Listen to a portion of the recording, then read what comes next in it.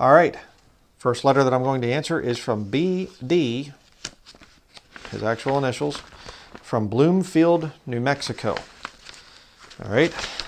And I'm going to get everything out of the thing that he sent here. Um, sent a couple different things. Uh, little um, neat little booklet thing that he made here. Um, caution, judgment, judgment after death, judgment seat of Christ. Just different, kind of like a little topical thing there. If you can see that. And uh, just kind of a neat little way to study the Bible. And there's so many different things that you can do. You know, deception, poor choices, pride. Um, you know, again, little things that you can do like this with your computer. Print stuff out, get it laminated like this, make the little edge binding thing. Um, there's different types of things that you can get that'll do that edge binding. Uh, I do actually have some of that myself. Um, don't see any examples of them laying around here. Uh, but yeah, really neat little thing here. Um,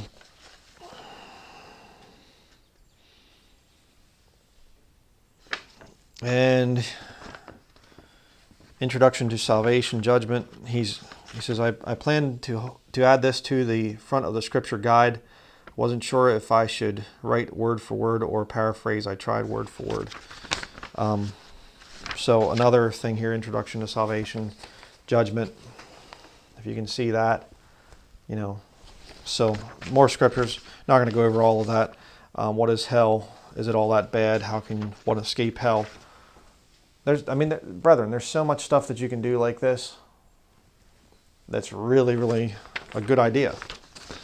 Um, you don't have to just say you know other ministries should print up this stuff or whatever you know let's look for somebody to bring these things out. Um, so okay let me put that off to the side there trying to find what all has been written here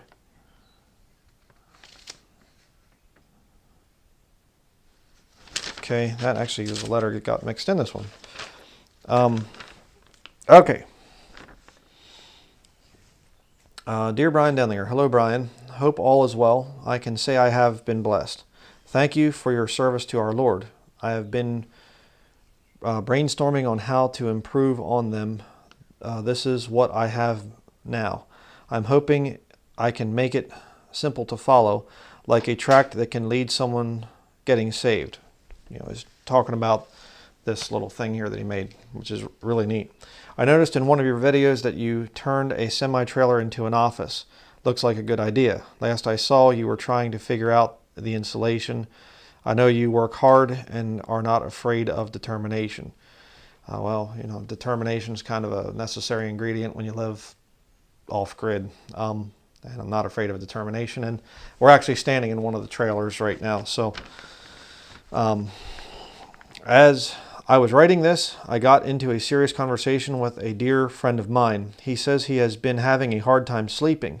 He says it seems something is trying to pull him away. Um, it's when he is in a deep sleep. Almost sounds to me like lucid dreaming, but not intentional. All I could think to do is to tell him to pray, ask Jesus for spiritual protection, and read the Bible. I gave him a King James Bible some time back, and today I have advised him to read the red letters in one of the Gospels. I figured it to be a good start. I got to a private place and prayed for him. I feel like I'm missing something. I know there is power in prayer. I hope I did well in what I did. I believe that he simply needs to commit his life to Jesus. I feel like I missed something. Please feel free to critique me on my actions. I told him if he doesn't have Jesus, he has no protection against spiritual attacks. Exactly. I never had to deal with this, thank God. When he told me this, I the thought of it scared me. I'm not sure I did well in what's in what I said to him. I do know that prayer and reading God's word is always good though. If I may ask you to pray for him, his name is, and then he gives the name, um, first and last initials there, J and B. I'm looking forward to sending you another scripture guide in the future when I get the format more befitting for a lost person to read and get saved. Thank you again for rightly dividing the word of God in dispensation from your brother in Christ, BD. Um, well, as far as the thing of sleep, okay, there's a number of factors there. Okay, if your friend is, you know, there's with Bible believing Christianity, you're dealing with physical as well as spiritual. Um, Paul doesn't just also just uh, uh, be healed, you know, like with Timothy. Um, he says to him, you know, use a little wine for thy stomach's sake and thine often infirmities. That's a secular bit of advice. It's nutritional health.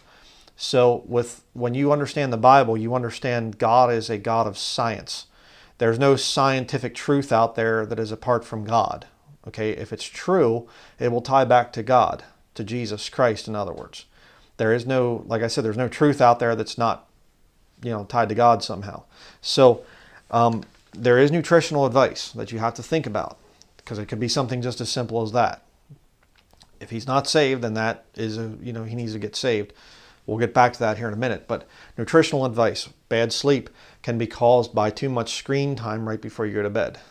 Okay, if you're on the computer, watching television, whatever else, the blue screen will trigger your brain into thinking, you know, it's daytime or whatever else, the blue light there, and that comes off of a television or computer screen or even your cell phone, whatever else type of thing. You need to stay away from that. I have a video on the thing getting proper sleep, and that's a big part of it. Um, reading the Bible before he goes to bed is going to help him. Um, so I would start there, the nutritional thing. Um, the spiritual, okay, getting into some of the spiritual. Uh, I know people will put these these uh, Native American dream things. I forget what they call them things. Dream catcher. Thank you. Uh, dream catcher. They you know they look like almost like a spider web. Like they'll have feathers hanging off the bottom, and then they they have like the little web thing and whatever else, and like a little ring. Bad, real bad. Um, they're a cult. Actually, I think that they can conjure, you know, devil spirits, kind of like a doorway for devils, so to speak. Bad. Um, you don't want to have any kind of a shamanistic, you know, thing that'll help you sleep better, or crystals. You know, that's another thing. It's popular with New Agers and things. Um, you know, even certain types of candles, if you're burning incense and whatever, like you get these Catholic candles, you know, the different saints, and you light the candle, and yeah, you know, if your friend's messing with any of that stuff, bad news. That's spiritual, but also kind of a physical thing there. Um, proper nutrition is another issue. Um, is he near a smart meter? Um, you know, again, we when we were living at our place in Bridgewater, literally where our bed was downstairs, it was originally upstairs. We moved it downstairs, and about six feet away from my feet on the other side of the wall, the outside of the wall, was where the smart meter was led to a lot of sleep problems. So um, there's there is that stuff there that you have to think about. Um, now, salvation is obviously the most important thing. If you're not part of the body of Christ, if he's not born again, then he has no protection from the spiritual realm. You say, well, he did get saved. He is definitely a Christian. Okay, fine. Um, you go through all the checklists. You say, okay, I'm I'm not watching the wicked stuff, or, or not wicked stuff, but anything really. Don't watch video before you go to bed. Um, my nutrition is good. I'm not near a smart meter. Uh, you know, and you go down through the list and you say, but I still am having weird dreams and kind of weird things. Um, well, um, another thing that you can do as far as fighting that spiritual stuff at night, we've done it before, is get Alexander Scourby readings of the King James Bible and just turn it down low enough that you can hear it, but it's not going to keep you awake and then let it play all night. Just get like a little MP3 player or whatever with speakers and don't put headphones on. That's not going to be good for your sleep, especially have a cord going down, you know, not too good if you roll around at night, end up choking yourself. Um, but that's another thing that we've done in the past, and it does help uh, fight the spiritual realm and things. And, you know, there's times that you're just going to get attacked in your dreams, and I don't even understand all of that stuff. Um, you know, it happens to me almost on a nightly basis. So, you know, you just pray and you just say, okay, Lord, sorry about that dream. I don't even know where that came from. Um, help me to forget that. And uh, I've gotten to the point where the attacks, the spiritual attacks that come against me, are kind of an encouragement.